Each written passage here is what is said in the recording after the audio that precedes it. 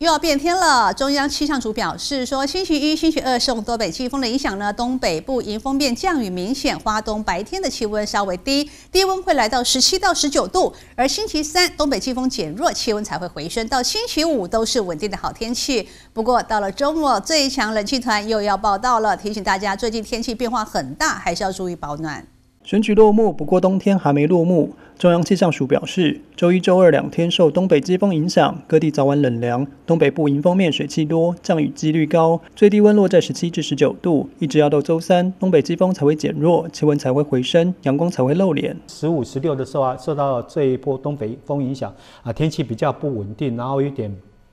小小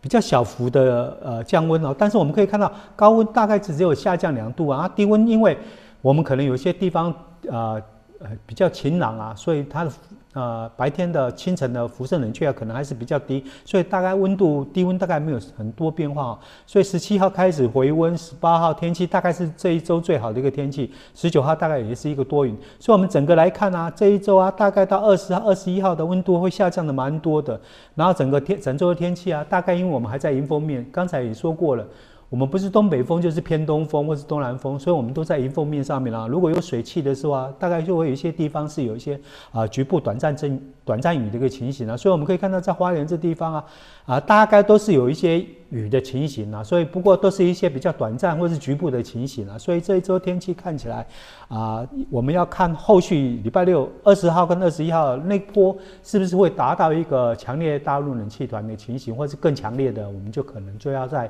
啊再过几。天我们才能知道说这个这一波会不会更升等为啊比较强的温度会不会降更多的情形啊？周三到周五预计都将是稳定好天气，白天气温甚至可以来到二十五度。不过到了周六水汽增加，周日迎接另一波冷气团报道，预计最低温恐怕来到十五度以下。提醒民众天气变化大，周末降温明显，长者、心血管疾病患者注意身体健康。记者蒋邦彦华联市报道。